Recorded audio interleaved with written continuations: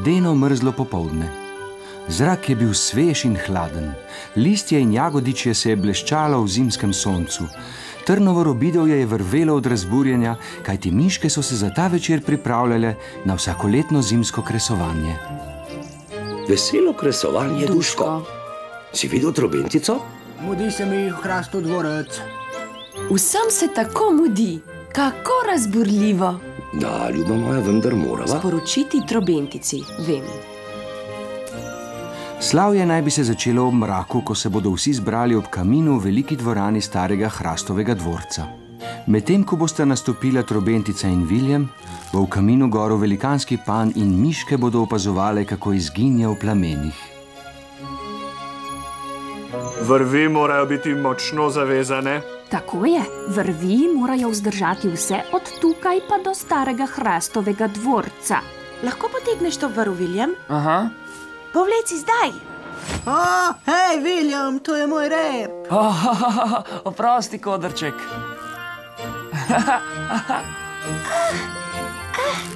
No, en, dva, tri, povlecite.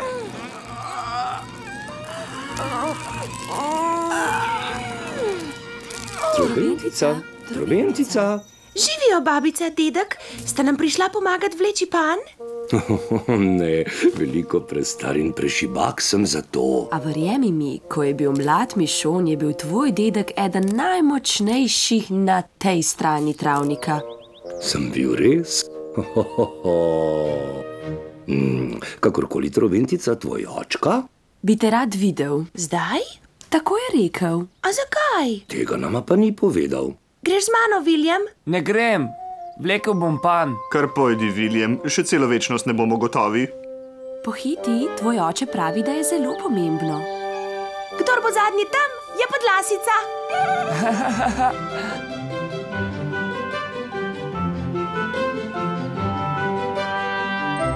Pozdravljen, Bazilko. Živijo, William.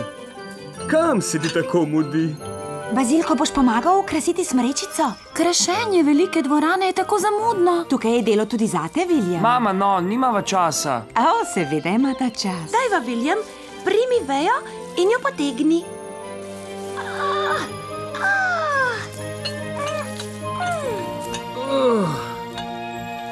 Ah, Tukaj sva očka. Robentica in William tudi, sjajno, sjajno.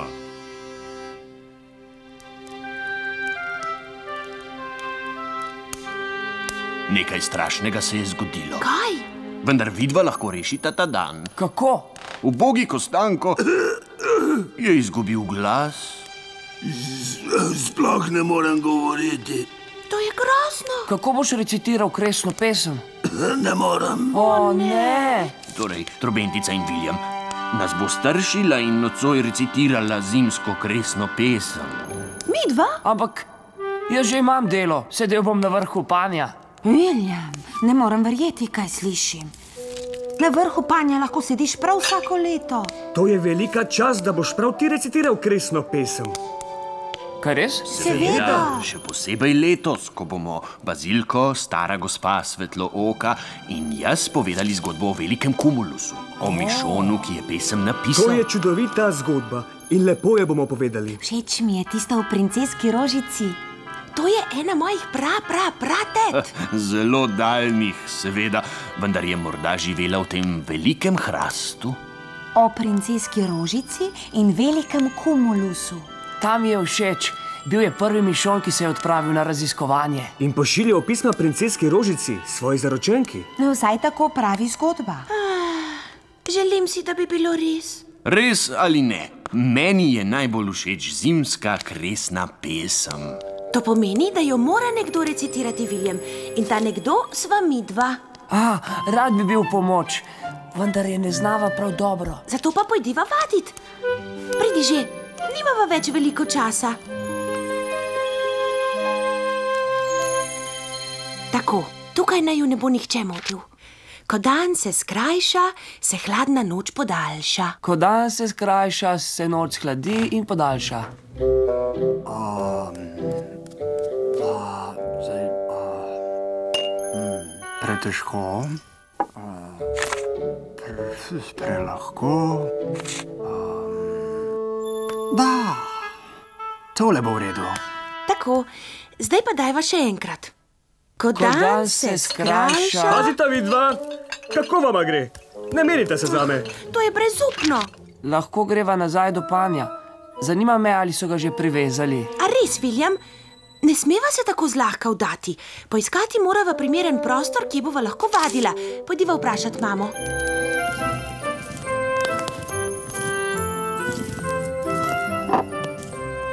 Še en pekač piškotov je pripravljen, gospa Pšeničnikova. Prav res, gospa vrtnica. O, ne vem, kako bomo vse to pojedli, vendar nam vsakokrat uspe.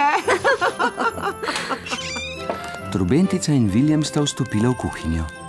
Veselo sta pomigala smrčkoma, ko je zadišalo po vročih borovnicah in medu. Trubentičina mama, gospa Hrastodolska, je pekla zimsko kresni kolač. Pozdravljena, gospa Pšeničnikova. Trobentica, William, kako čudovito, da boste recitirala kresno pesem. Kakšna čast. To vsi kar naprej pravijo. Ampak ne najdeva mirnega kotička, da bi vadila. No, zimski kresni dan ni prav miren dan. Pazite, prihajam. Zakaj ne bi pogledala na podstrešje? Tja gotovo nihče ne bo hodil. Čudovita zamisel. Hvala, mama. Vzemite s seboj nekaj peciva in borovničevega soka, morda bosta lačna. To je še boljša zamisel. Hvala, gospa Pšeničnikova.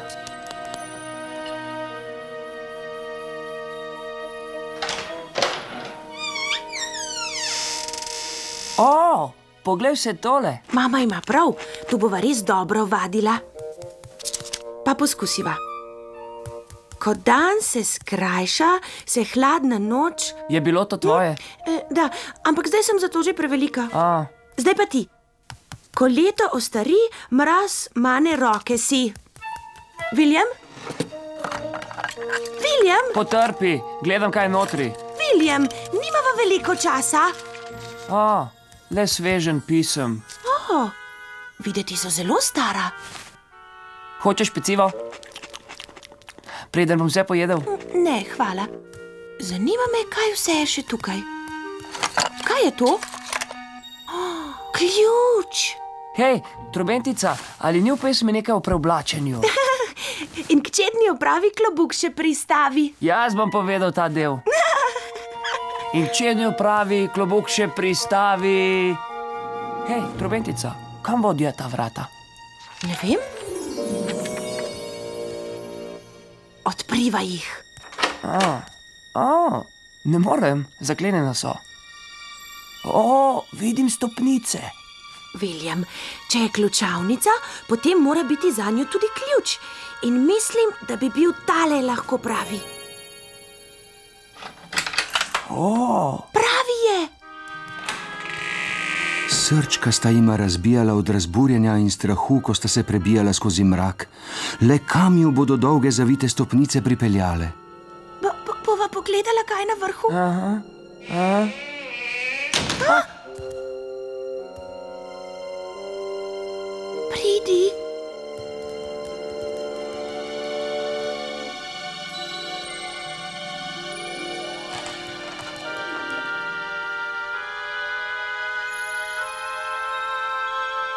Svetloba je počasi pojemala, ko se je zimsko kresno popovdne prevesilo v večer. Večer poln pričakovanja. Gospod Žitnikar, Duško, Kostanko in Lan so začeli vleči slavnostni pan v veliko dvorano. Gospod in gospa Lešnikova, Bazilko in stara gospa Svetlooka pa so jih spodbujali. Kar naprej, ste že skoraj tam. Letos je pan zelo lep. In gorel bo s krasnim plamenom. Ne čudim se mlademu Viljemu, da je želel počakati na tole. To je res najlepši del praznovanja. Zame je najlepši del takrat, ko je gotova prva skodelica punča. Takoj, ko zanetimo ogenj. O, gospa Svetlovka, vi ste zelo prijazni. Medtem sta se zgoraj na podstrešju Trobentica in Viljem uspenjala po skrivnih stopnicah, ki jim ni bilo videti konca. Nenadoma pa so se stopnice končale in zagledala sta skrivna vrata. le kaj je za njimi? Bo, e, Dino na en način lahko izveva.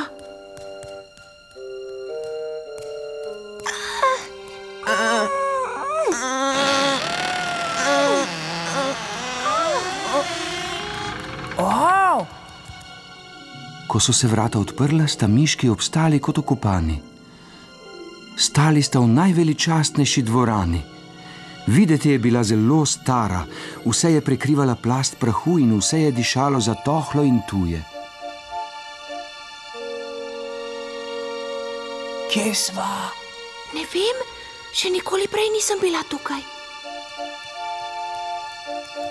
Morda so tvoji predniki živeli tukaj v starih časih. William, poglej tole, ravno pravšnja klobuka za nocoj. O, in k čedni opravi klobuk še pristavi. Zanima me, kam vodijo ta vrata. Edino takole lahko izveva.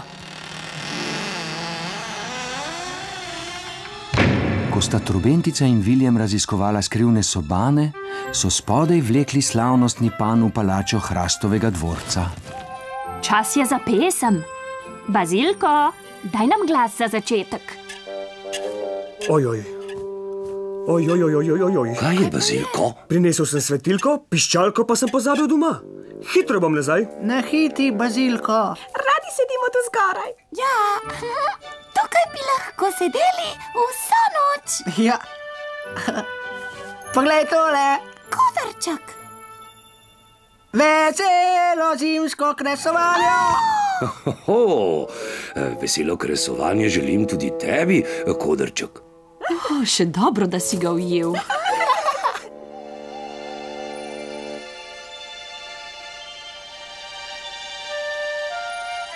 Zgoraj na podstrešju, daleč proč od prazničnega razpoloženja, sta Trubentica in William našla prekrasne skrivne sobane. Tu je bila jedilnica, kletarjeva shramba, majcena kuhinja in več spalnic, pa tudi čudovita otroška soba.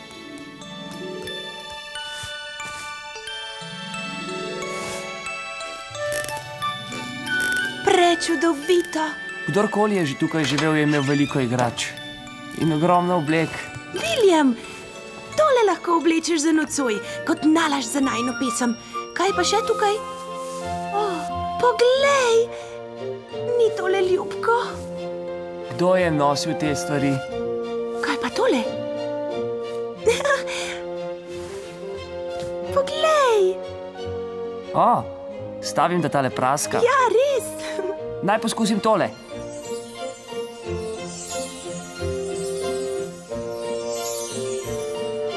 Rada bi videla, kakšna sva.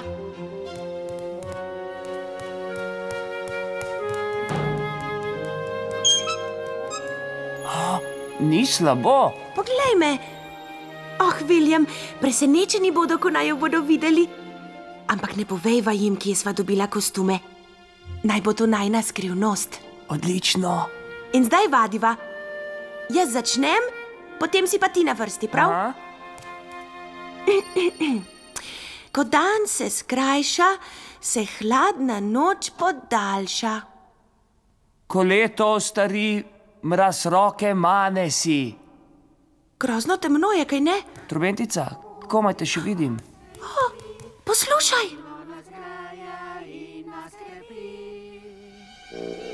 O ne, zimsko kresovanje se je že začelo.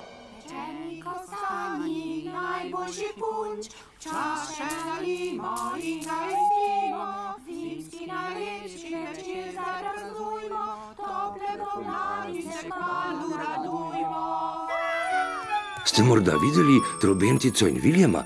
Zamudila sta sprevod. Škoda, če boste zamudila prižiganje ognja. Nisem jo videla, odkar sta odšla vaditi na podstrešje. ne skrbi, takoj ko boste slišali hrup, boste tukaj. Tu je robidovo vino za pan Bazilko. Hvala, gospa Lišnikova. Veselo kresovanje! Zdaj bodo prižgali ogenj. Če se ne vrneva, bova to zamudila. Pridi. A, tukaj, nadeni si to. Oh. Sam kaj? Mm. Tukaj. O, kaj ni bilo tukaj? A, mislim, da so ta vrata. Trobentica, sem kaj.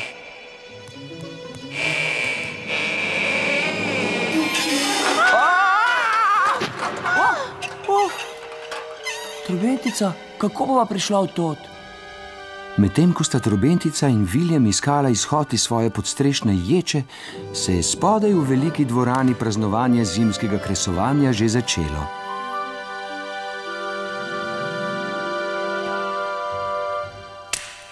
Ko so miške opazovale, kako je gospa svetlooka z gorečo baklo zanetila ogenj v kaminu, so njihove misli zaplavale v pomlad.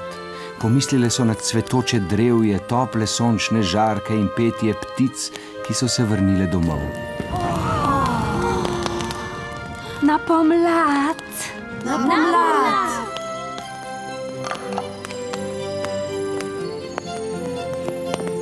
Svetli plameni so oblizovali pan. O, naj se zabava začne.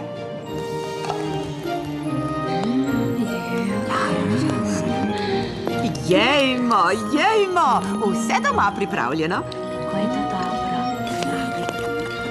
No, jejte, jejte, dragi moji. O, hvala. Začenja me skrbeti za trobentico, dragi. Z Viljemom ne morete več biti na podstrešju. Kaj meniš? Želiš, da ju grem poiskat? Mm -mm. Da, prosim. Na tvojo željo, draga moja. Ne gre. Nikoli ne bova prišla v tot. In nikdar naj jo ne bodo našli, ker nihče ne ve za skrivno stopnišče. Trobentica! Trobentica! Viljem! Zdaj sta menda že nehala vaditi. Gotovo nekje spodaj čakata na svoj veliki trenutek. Ne razumem. Če sva prišla sem, mora biti tudi izhod. Ne vem. Kaj bova naredila?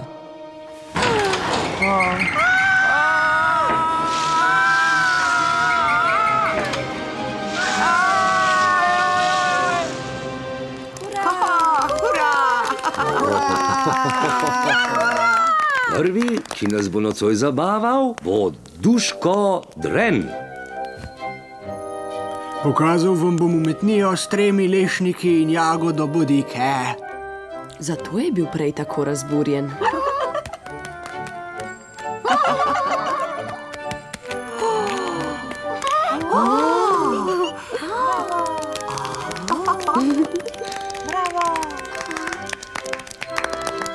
Si jo našel? Na stopnišču ju ni, sigurno nekje čakata na svoj nastop.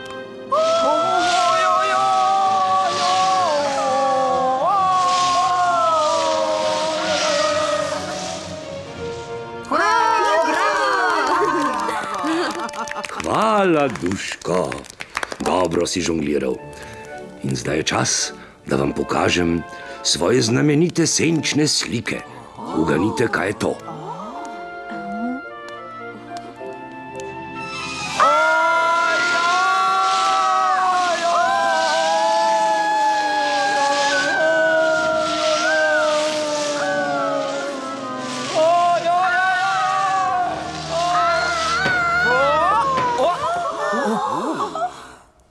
Trobentica, trobentica, poglej.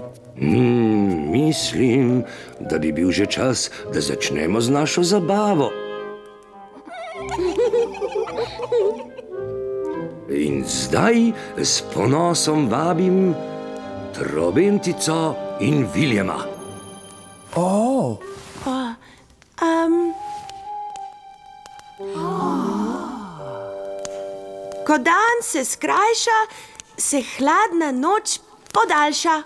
Ko leto ostari, mraz roke mane si. Hitro pogladi brčice si, domek pospravi. In čedni opravi, klobuk še pristavi. Saj zima razdala je vse, kar ima. Zdaj kmalo odide. Pomladi, Pomladi leto preda.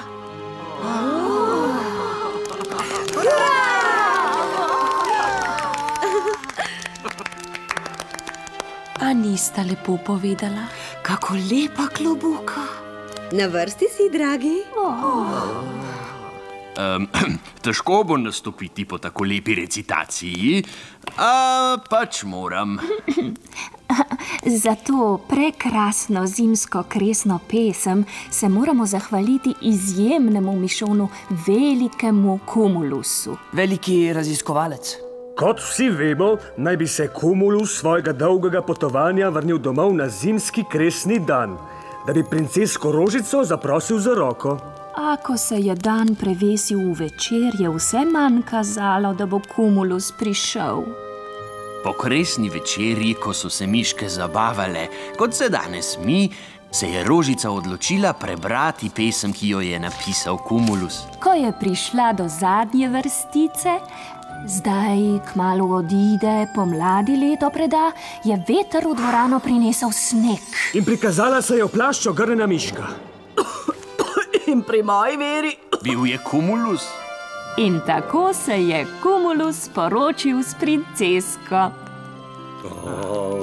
In srečno sta živela do konca svojih dni.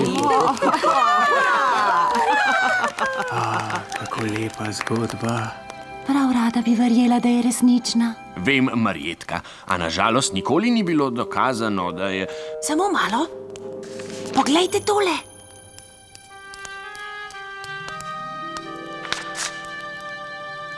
Kaj? eh, To, to so pisma. Kumulusova. O, kaj vidim tukaj? Pesem, zimsko kresno pesem, trobentica, kje sta jih našla? Zgoraj na podstrešju. Tam sva našla tudi te kostume. Poglejte, oblečena sta v tista oblačila, kot jih nosita ta dva na portretu. Nenavadno. Kje ste rekla, da ste jih našla? Um, uh, dedek, kaj pa senčne slike? Upam, da jih nisva zamudila. Nista. Si lahko sposodim plašč, William? Seveda.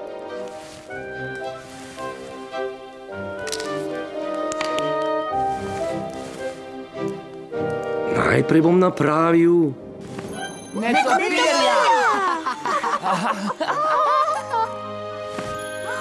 Ko je gospod Lešnik zabaval miške s svojimi senčnimi slikami, sta Trobentica in William strmela v ogenj in premišljevala, kako lepo bi se bilo igrati v palači princeske rožice na vrhu skrivnega stopnišča. Kmalo sta njuni glavici postali težki in nedolgo zatem sta oba zaspala.